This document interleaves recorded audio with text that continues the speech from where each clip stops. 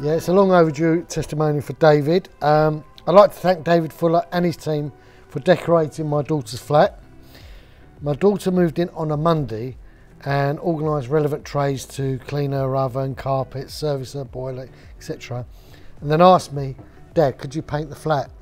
And I said, when, when do you want it done by? She goes, by the end of the weekend. I'm moving in on Monday.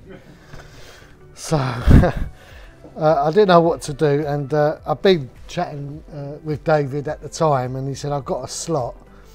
And David came down the next day and surveyed what needed to be done, gave me a price, and sure enough, uh, at the weekend, he did the work and was done, the whole flat.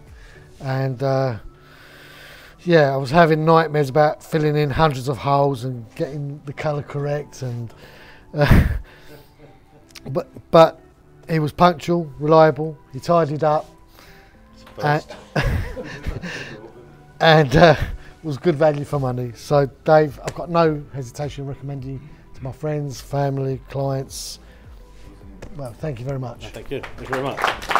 Hey.